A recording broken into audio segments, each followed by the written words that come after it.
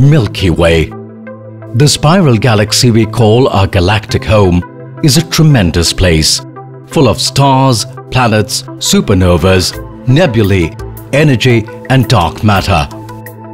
But it is still a mystery to humankind.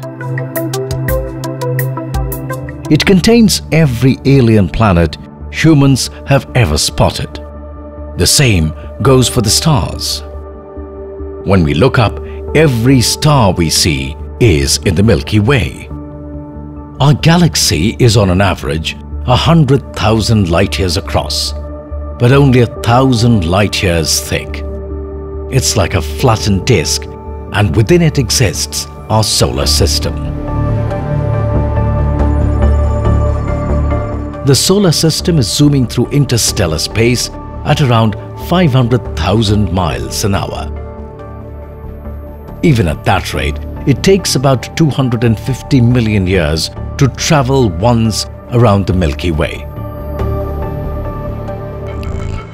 The last time our 4.5 billion year old planet was in this same spot, continents moved.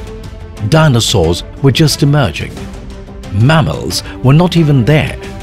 And the most profound mass extinction in the planet's history, an event called the Great Dying was in progress. In the middle of the Milky Way galaxy, there's a monster supermassive black hole known as Sagittarius A. Humankind has never seen this black hole directly, but astronomers have managed to follow the orbits of stars and gas clouds near the galactic center, which allowed them to infer the mass of the cosmic heavyweight hiding behind thick clouds of dust and gas. It is thought that supermassive black holes are parked in the center of most galaxies.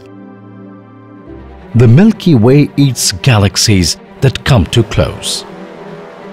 Scientists have detected some two dozen faint streamers of stars that are the remnants of galaxies past. In about 4 billion years, the Milky Way will collide with its nearest neighbor, the Andromeda Galaxy. Discovered by the great scientist Edwin Hubble in 1924. The two spiral galaxies are currently hurtling towards each other at 250,000 miles per hour.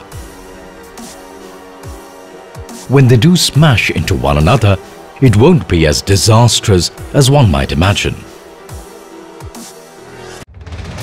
Earth will most likely survive and the newly formed mega galaxy will offer a night skyscape with a spectacular blend of stars and streamers, unlike anything we see today.